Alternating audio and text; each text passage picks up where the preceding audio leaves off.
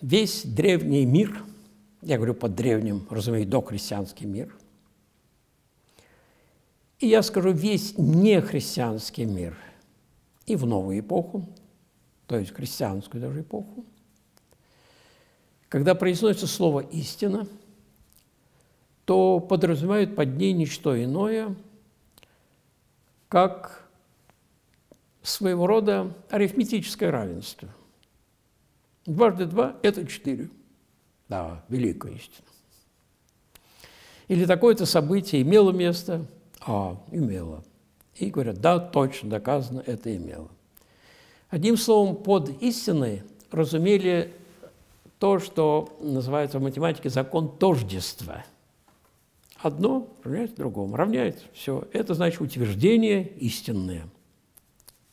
Христос указал совсем на другое. Истина вовсе не закон тождества. Истина – это то, что есть, существует, то, что имеет бытие, и что составляет, если хотите, сущность, сущность нашего бытия человеческого, бытия и всего бытия, и человеческого бытия, что есть. Что же это есть? В житии одного мученика по имени Тивуртий – мы читаем очень интересные слова. Во время допроса и истязаний он говорит судье, земное, все земное бытие есть то, что мнится, то есть думается, кажется, что мнится, но не есть. Ибо оно исчезает – Исчезает даже для человека. Умер и все. Мнится.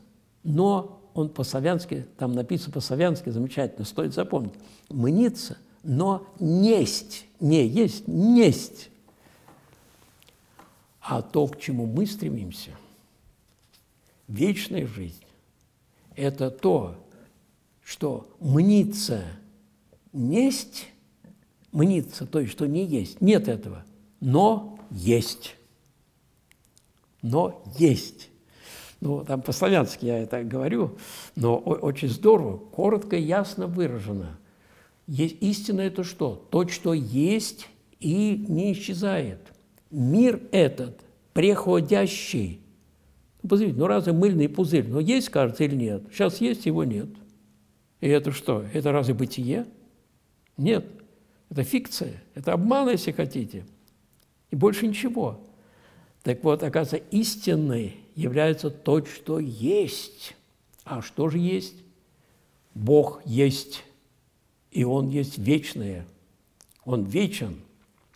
Вечная жизнь, вечная жизнь. Жизнь Царства Божия, вот это, это то духовное благо в Боге, оно именно есть и не приходит. Вот в чем дело. Оно существует – а все прочее, что вот мы здесь, здесь, все земное, оно приходит, оно проходит, оно исчезает, оно меняется. Как помните, хотя бы он, Гераклит говорил, великий, ну, один из древнейших философов Греции, от которого остались еще записки, это седьмой век, может, до нашей эры, говорил, в одну и ту же реку нельзя войти дважды. Почему? А потому что вода течет. Уже другая река, уже другая вода, а не та, которая утекла. Так вот, все земное – это преходящее, поэтому его нет. Так Гераклит, кстати, и говорил. Умница был. А мы верим во что? В истину. Что же такое истина? Это то, что есть и не приходит. Недаром же у нас поэт что сказал? «Ничто не вечно под луной». Так разве это истина тогда? Никакой истины тогда нет. Это что такое? Какие-то миражи летят и все. Миражи.